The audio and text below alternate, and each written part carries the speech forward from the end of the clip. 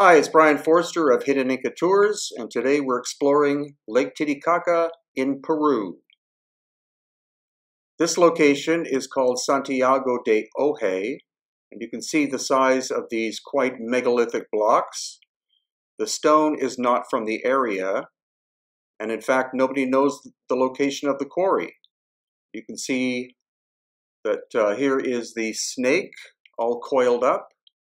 Why the site is so badly damaged? Was it cataclysm? Um, zealot Christians? Who knows? But in order to get some proper insight of this area, let's see what Gustavo Morales has to say. Okay, here we are in Santiago de Ojje.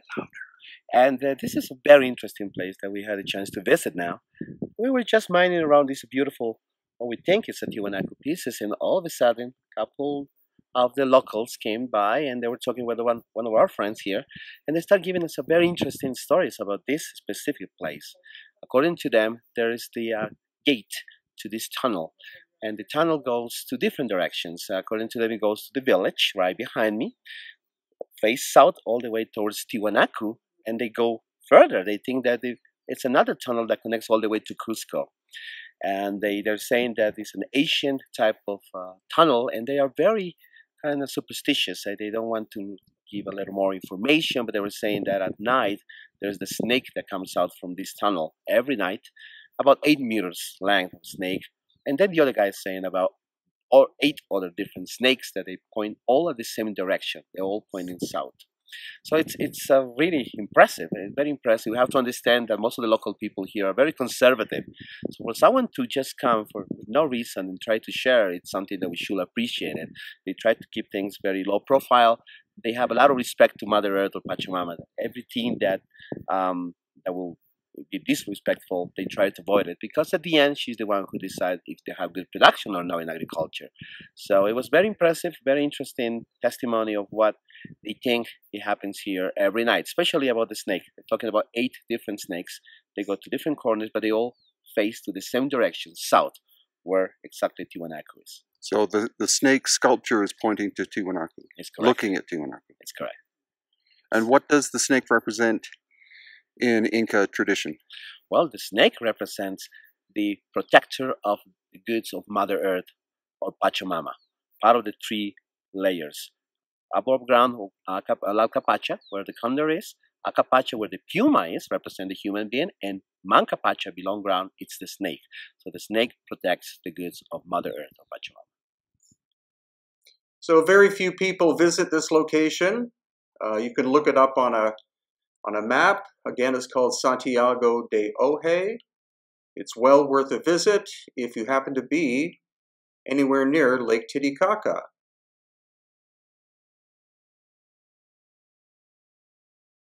Next, we're at the little town of Copacabana, which is actually in Bolivia, just over the border.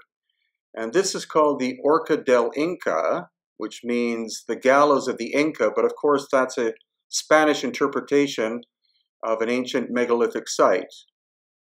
No one knows, in fact, who created it, but it is definitely some kind of solar calendar, probably for either the equinoxes and the solstices, or maybe just the equinoxes or just the solstices, but likely all four. No one knows who actually made it. It could be an Inca construction, or it may actually be something far older than that.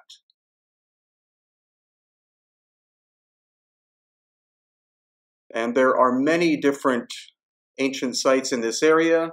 There you see Lake Titicaca in the background. And there are definitely megalithic remains on the hill that you see in the background here. So as I said, in this area there are many megalithic sites that are not very frequently visited. Uh, it's information that you have to actually get from local people. So these strange cutout shapes in the bedrock are exactly the same as we see in the area of Cusco in Peru. Of course, some people are going to say that this is a quarry of some kind, but the shapes of the blocks don't make sense in terms of quarrying because they're all basically pie shaped. Another theory is that there's some kind of throne, but they face in different directions. So they're not focused on one specific area. And uh, that's why, again, these places are so mysterious. So there are thousands of these cutout shapes here around Lake Titicaca and also in the area of Cusco in Peru. Their function unknown. The weathering shows that they are likely several thousand years old.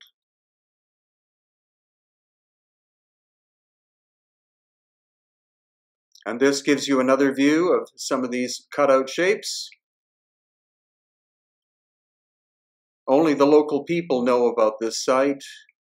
And so it's very difficult to find places like this unless you do a lot of study beforehand. Now we're at Amaru Muru or Aramu Muru, which again is near Lake Titicaca. Some people believe that this is a portal or a stargate of some kind. Uh, the, the, actual function, original unknown, original builders unknown. Notice the central uh, space. And here's someone who's, that's our bus driver, who just did some kind of um, worship or ceremony. And on the left and right sides of the central portal are these vertical grooves deep in the sandstone. Again, original function unknown. And then this place that took me five years to find is called Kenuani. And again, it's just located, uh, or is located just over the Peruvian border from Bolivia. Some people think it was a stadium. It faces directly to the lake, and in fact faces Tiwanaku in Bolivia. The stone is not super hard. It's a compressed volcanic ash but who made this, when it was made, and why it was made is completely unknown to this very day. But you see, these are very evenly shaped stairs in the uh, in the stone itself. There's no specific logical pattern to it. Very complex effort was involved in creating it, but who actually made it, again, unknown. And that's the whole part of going on an adventure in the Lake Titicaca area, especially with us at hiddenincatours.com.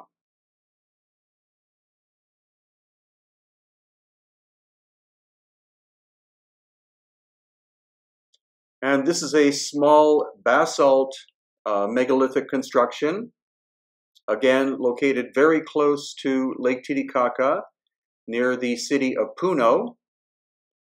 And you can see quite massive blocks were employed. And also they were shaped and fitted very tightly without the use of mortar.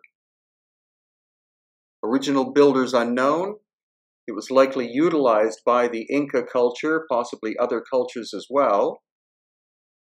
And it's called the Temple of Fertility. And the reasoning behind that you will see is pretty obvious as we go inside.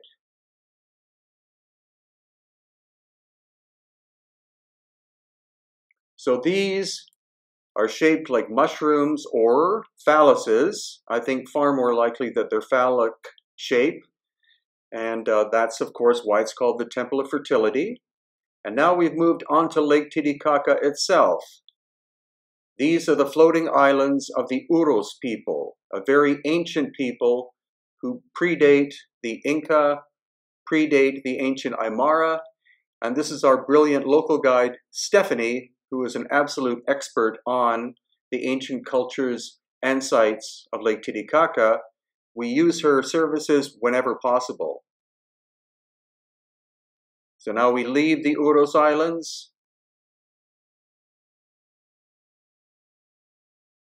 And actually, we're back in Bolivia on the Bolivian side. And this is a scale model, I believe, of Ra 2. And the builders of the Ra ships were these people from the Lake Titicaca area. And every time we visit the lake, we always go visit them. And now, a very small but very elongated skull located in the local museum next to where the reed boats are. This child would have been less than two years old, and this is very likely a natural elongated skull, not the result of cranial deformation. So that's, of course, something that I'm studying uh, a lot in the area and also on the coast of Peru. And finally, upcoming tours at hiddenincatours.com.